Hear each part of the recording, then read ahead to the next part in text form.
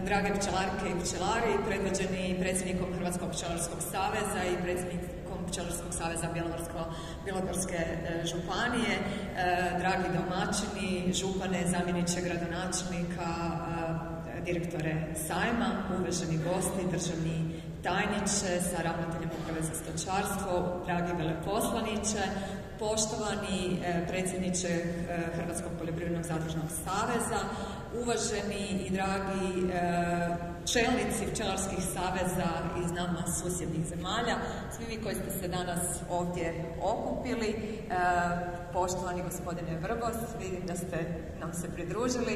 E, sve vas srdečno pozdravljam u ime Odbora za poljoprivredu Hrvatskog sabora, u ime naših članica i članova koji su me zamolili da vam prije svega prenesem zahvalu za važan i odgovoran posao koji radite, a da mi to u istinu tako mislimo, govori i broj naših sjednica koje smo posvetili upravo e, pčelarstvu i cijelom tom sektoru i vama koji marom dobrog gospodara brinete o našim pčelama. Svjesni smo da bez pčela i bez vas ne bi bilo i one važne uloge koju stalno naglašavamo, a to je oprašivačka uloga pčela, bez koje nema niti proizvodnje hrane, niti biološke raznolikosti s kojom se Hrvatska može podičiti ne samo u Europi, nego i u svijetu.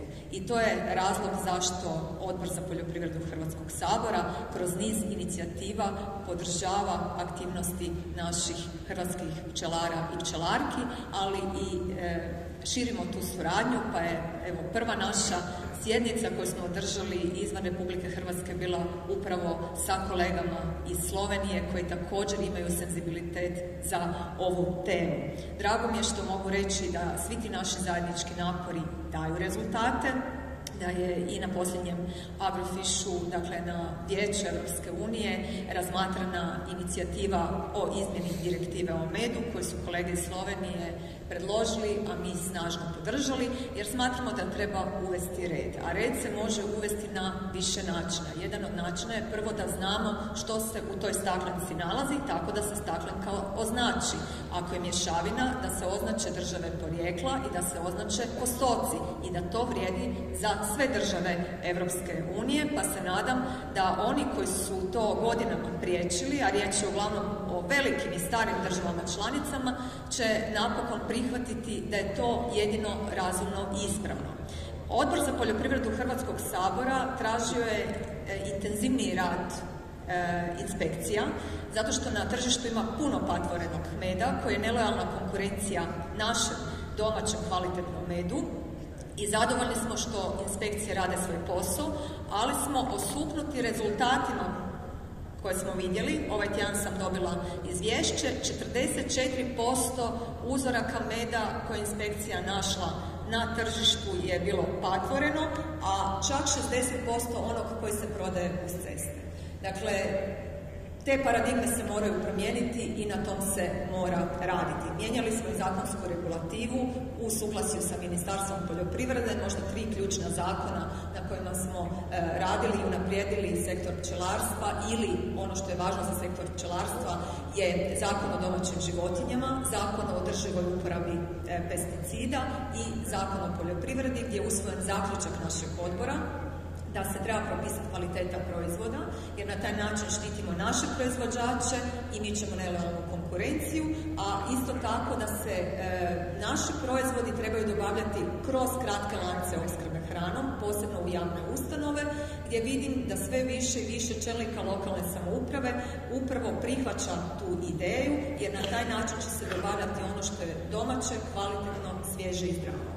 I ništa manje važno, u stvari ja bih rekla najvažnije jest to da odbor čvrsto stoji iza e, pozicije pčelara, da najvažnija mjera koju treba uvesti jest potpora po pčelinjoj zajednici. Ja sam za to stvorila uvjete u Europskom parlamentu kad sam bila zastupnica. To su elementi koji se mogu ugraditi i u sektorsku politiku, ali i u zelene politike i u mjere ruralnog razvoja i smatram da je to jedina pravedna naknada koja može obuhvatiti sve pčelare, jer je to naknada koja se u stvari daje za oprašivačku ulogu pčela, za koju smo rekli da bez nje nema niti proizvodnje hrane.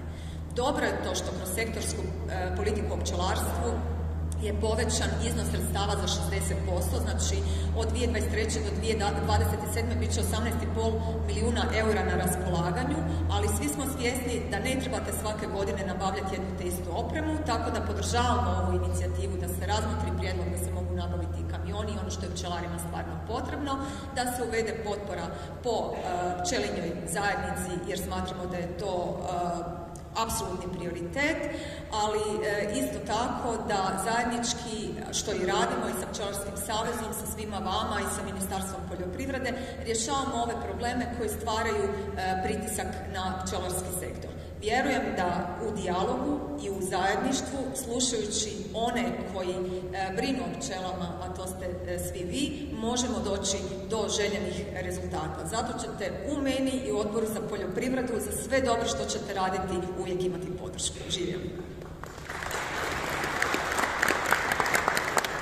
Hvala gospođo Petina i prigodnim informacijama i prigodnim riječima.